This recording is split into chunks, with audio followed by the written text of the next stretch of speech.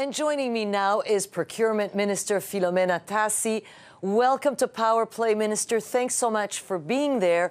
Um, I know it's been a busy day for you. So, NACI is recommending uh, Canadians age 50 and over get a COVID 19 booster. So, my question is Does Canada have enough boosters to accommodate that recommendation? And, you know, if it is expanded to all as many provinces are already doing, would you have enough doses?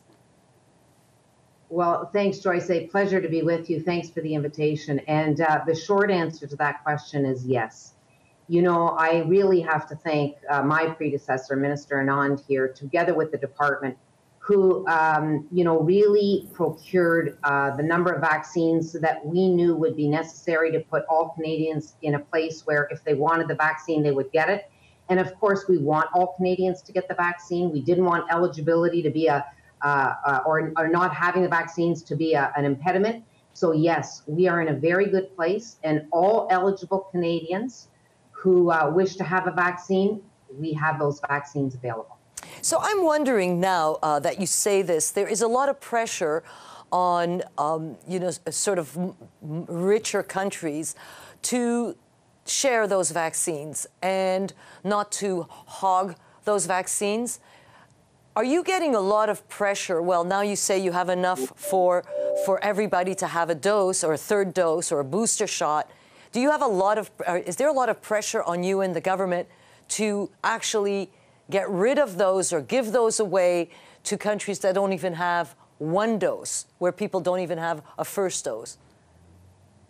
So what I would say on this, Joyce, is we we absolutely agree that no one is safe until everyone is safe, and so that means you know we we we are committed to equitable uh, global access to vaccines, and in this regard, we have committed to 200 million, the equivalent of 200 million vaccines.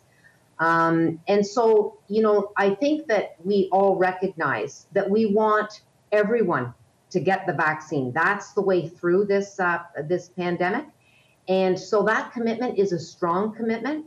In terms of the vaccines that we're procuring, I mean, for us, we always want to ensure that we have ample supply for Canadians. We want to encourage Canadians to step up and get the, the vaccines that they are eligible for.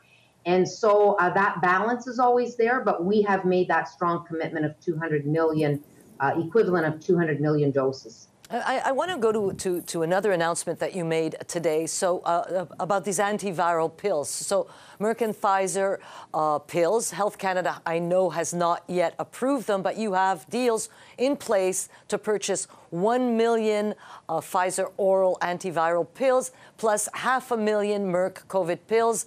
Will these be eventually available with a prescription? What what is I, I know they're not they're not approved yet, but we're looking down the road here. Are these kinds of pill that would be available in a pharmacy on prescription, or will they be controlled in hospital environments?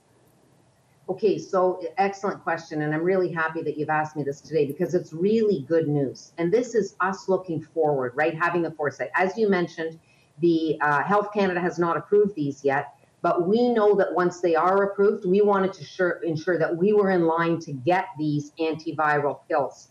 The advantage with these pills is they can be taken at home. So it takes the pressure off of the hospitals, which we know is really important. And so this antiviral pill will, in fact, um, uh, it's effective to limit the uh, the impacts of COVID-19 to keep people out of the hospitals. So we have procured um, a significant amount of doses, as you've said, a million from Pfizer, 500,000 from Merck, with the option for 500,000 more. And what our intention is, is to, of course, distribute these to provinces and territories so that they can equitably, so that they can have these pills available. And of course, when we do this, we also look at areas that are of, uh, of a larger concern, right? So if there's flare ups in certain areas and there may be more support needed, that's always taken into consideration. But we've worked very collaboratively with provinces and territories throughout this. And so uh, we are delighted that we have this other tool now in the toolbox in order to ensure that Canadians have another uh, means of ensuring that the impacts or effects of, of COVID 19 are, uh, are limited and minimized. That's interesting. But, and you have no idea of the timeline or when uh, Health Canada would be approving these?